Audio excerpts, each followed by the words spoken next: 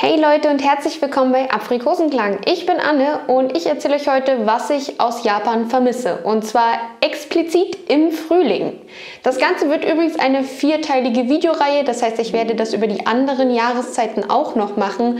Falls euch das interessiert, dann vergesst nicht zu abonnieren, damit ihr die anderen Videos auch mitbekommt.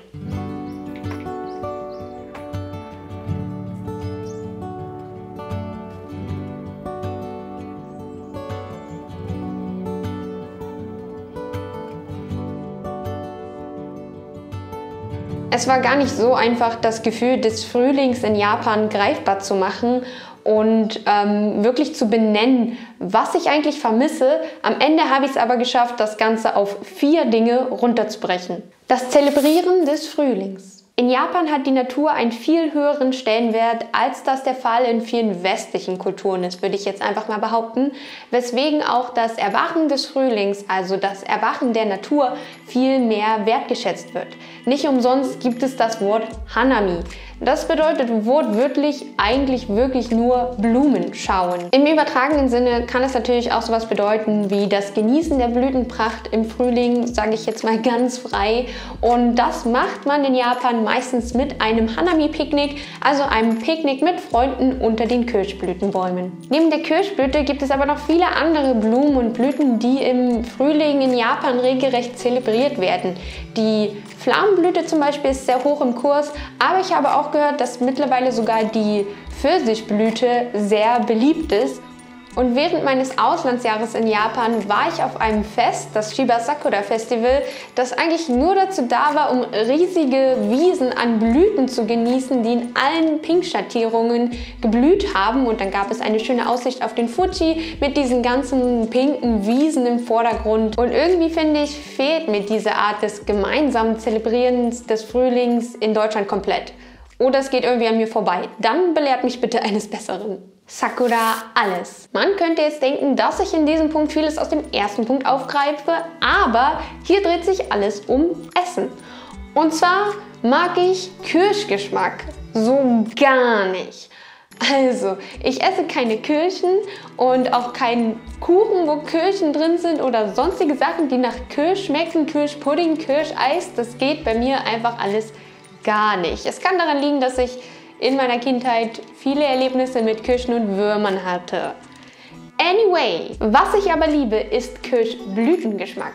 Ich muss dazu sagen, ich war damals in Japan sehr skeptisch, diese ganzen Sakura, also Kirschblüten-Sachen zu probieren, weil ich Angst hatte, dass es mir zu sehr nach Kirsche schmecken wird aber ich war sehr, sehr positiv überrascht. Für mich schmeckt Sakura so, als würde man das Gute aus dem Kirschgeschmack nehmen und ganz dezent machen und dann einen ganz weichen Geschmack oben drüber legen.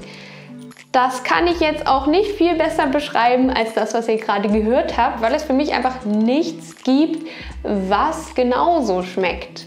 Ähm, was ich auch total liebe, sind dann die ganzen Sakura-Sachen so ein bisschen salzig eingelegt. Also es gibt so in Salz eingelegte Kirschblütenblätter oder ganze Kirschblüten, die dann in bestimmten Sachen mit drin sind oder obendrauf sind. Das hat so ein bisschen was von Umeboshi, falls ihr das kennt, auch total gut.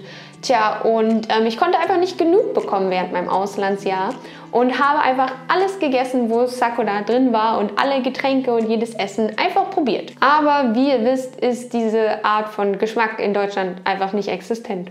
Die Temperaturen. Was ich auch mega vermisse, gerade im Frühling in Deutschland 2021, sind die schönen und angenehmen Temperaturen im Frühling in Japan. Es ist in Japan im Frühling noch nicht so krass warm wie im Sommer und auch noch nicht so luftfeucht vor allen Dingen. Es ist eher wie so ein milder deutscher Sommer und das den ganzen Frühling lang. Ich liebe das total. Und tja, ich meine, ihr wisst, wie das Wetter in Deutschland im Frühling so ist.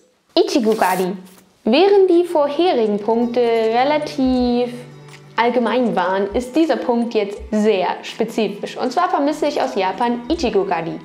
Was ist das? Kurz gesagt, Erdbeeren pflücken. Allerdings ist das in Japan ganz anders, als es in Deutschland ist. Während man in Deutschland eben ähm, zum Erdbeerenpflücken hingeht und die Erdbeeren dann mit nach Hause nimmt und einen Kuchen oder sonstiges Essen daraus macht, ist das Ganze in Japan eher ein All-You-Can-Eat-Event. Und das Wichtigste ist, dass man das mit einer Gruppe zusammen macht. Und das hat dann einen ganz anderen Spaßfaktor, als das hier in Deutschland der Fall ist, wo man dann eher alleine oder vielleicht noch zu zweit dahin geht und sich dann die Erdbeeren mitnimmt. Ähm, ich habe zum Ichigo Gari auch mal ein Video gemacht, beziehungsweise habe ich damals in meinem Auslandsjahr gevloggt. Das Video ist hier oben verlinkt. Ein Fun Fact an der Stelle noch am Ende.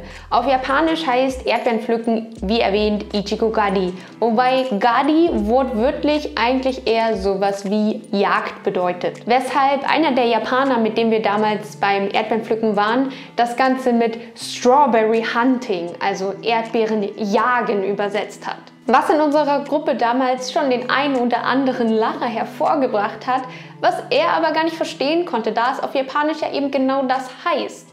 Tja, es wird nie langweilig, wenn mehrere Sprachen aufeinander kommen. Seid ihr schon mal im Frühling in Japan gewesen? Und falls ja, was vermisst ihr aus dem Frühling in Japan? Schreibt es mir gerne in die Kommentare. Ich bin da immer fleißig am Mitdiskutieren und Antworten.